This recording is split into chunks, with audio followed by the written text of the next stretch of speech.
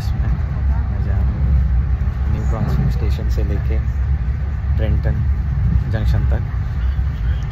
अच्छा लग रहा है।